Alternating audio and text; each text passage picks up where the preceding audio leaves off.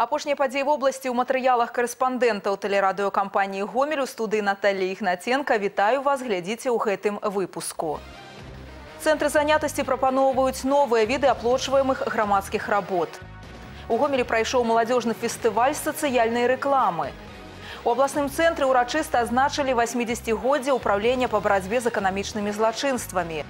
У суботу ў абласным цэнтры правядуць гуканне вясны. А зараз аб гэтым іншым больш падрабязна. Цэнтры занятасці прапаноўваюць новыя віды аплочваемых грамадскіх работ. Да традыцыйнага збору другаснай сыравіны дадаліся выезды ў сельскагаспадарчыя прадпрыемствы. З умовамі працы і памерам зарплаты азнаёміўся Алег Сенціроў.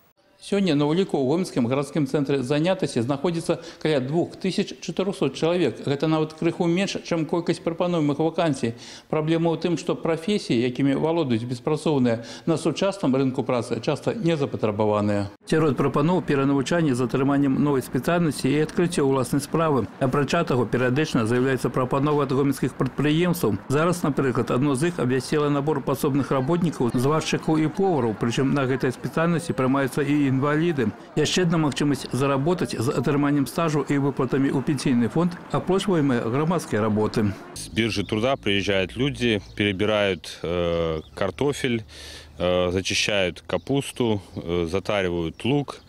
Э, это работа, которая производится перед реализацией. Работа, в принципе, неплохо оплачивается. От 10-15 рублей можно заработать в день. Это не просто разовые выезды в господарку. С кожным жадаючым заключается працоўны договор на два месяца, у якім прадугледжваюцца ўсе правы і абавязкі бакоў. У КСУП Брылёва, згодна з гэтым дакументам, зарплата выплачваецца напрыканцы кожнага тыдня. Калі працаваць сумленна, то за гэты час можна зарабіць на плату тых жа камунальных паслуг ці ліквідаваць нейкую запазычанасць. Прычым на час дзеянню договору наймальнік гарантуе, работа будзе прадастаўляцца пастаянна з абавязковай гарантаванай аплатай. У сялякім выпадку гэта не самы горшы варыянт часу часовой занятости. Уже второй месяц я ищу. Ждите, вам позвоним. И когда они позвонят, это неизвестно.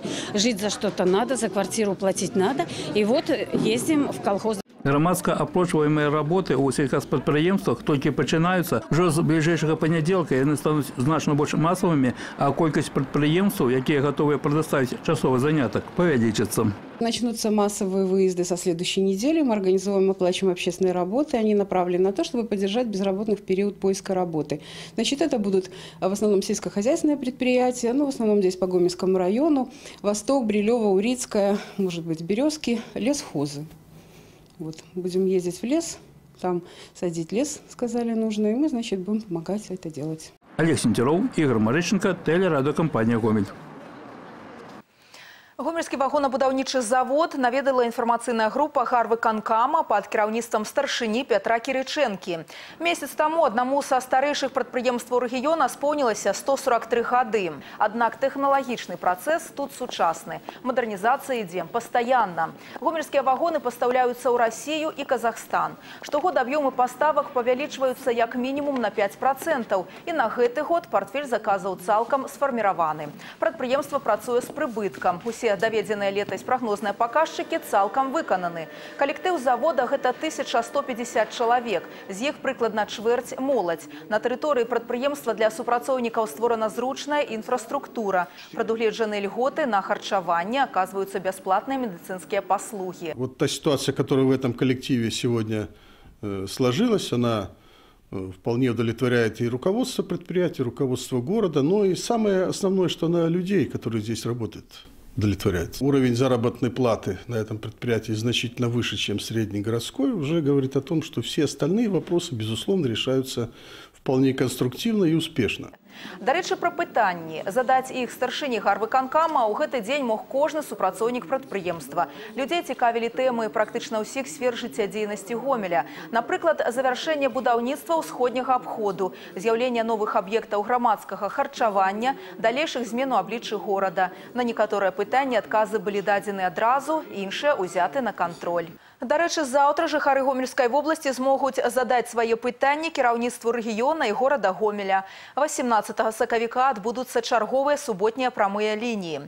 Старшыня гомельскага аблвыканкама Владзімир Андреевич Дворнік будзе прымаць звароты па нумары тэлефона 75 12 37. Гамельчан выслухае старшыня гарвыканкама Пётр Алексеевич Кірыченка. Нумар тэлефона 75 19 84. Час работы прамых ліній з 9 раніцы і да поўдня. Сёння ў гомельскім дзяржаўным універсітэце імя Францыска Скарыны ўпершыню прайшоў маладзёжны фестываль сацыяльнай рэкламы святло добра. Да ўдзелу ў ім прымаліся відэаролікі і плакаты на сацыяльна значныя тэмы. Якія праблемы сучаснасці хвалююць моладзь, даведалася Ганна Кавалёва.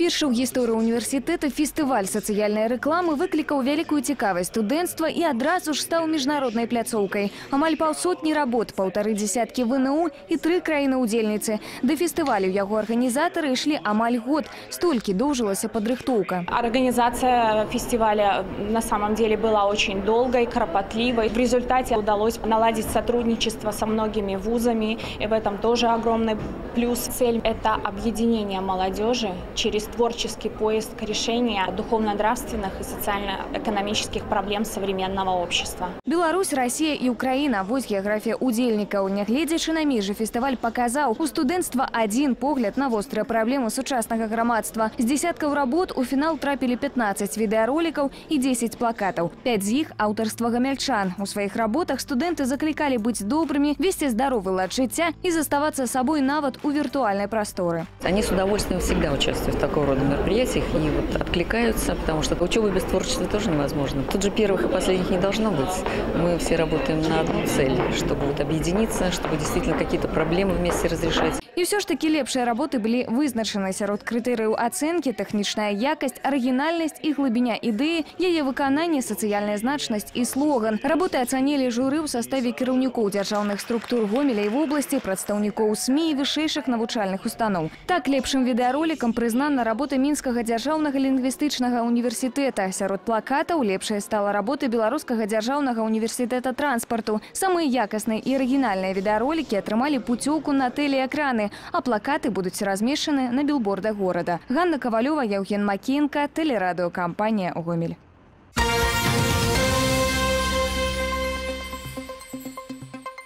У Гомелі ўрачыста адзначылі 80годдзе ўправлення па барацьбе з эканамічнымі злачынствамі. Сваю гісторыю гэтая служба адлічвае з 1937 года, калі ў саставе галоўнага ўправлення рабоча-сялянскай міліцыі быў створаны аддзел па барацьбе з крадзяжамі сацыялістычнай уласнасці і спекуляцыяй. Сучасны выгляд служба па барацьбе з эканамічнымі злачынствамі стала набываць у 1991 годзе.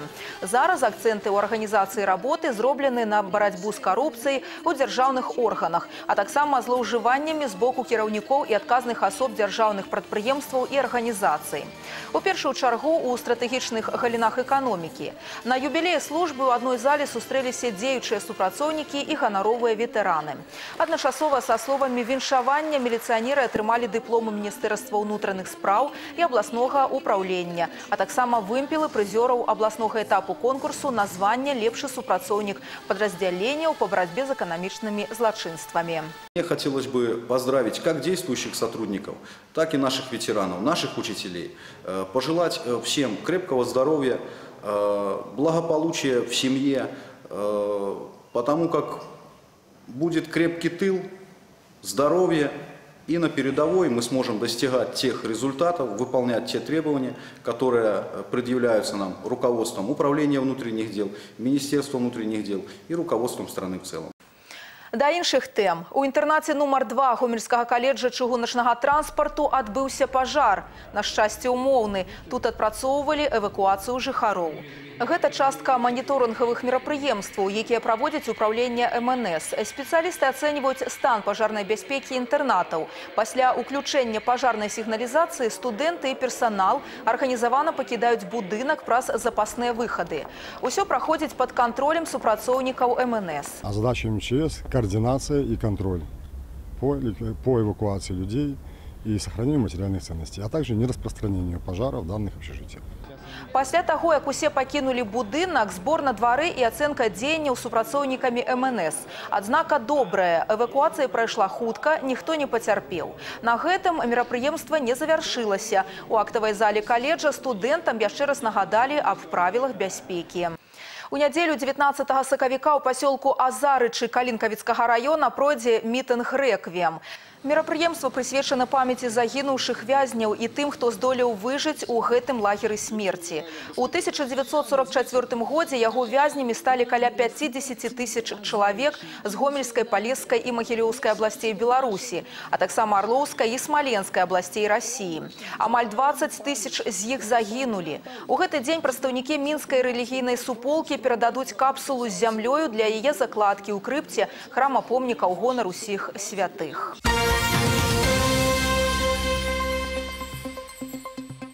Гомельская областная филармония рыхтуецца адзначыць 50гадовы юбілей. Зараз тут праходзяць пастаянныя рэпетыцыі нумароў, якія гледачы ўбачаць падчас юбілейнага канцэрта 24 сакавіка.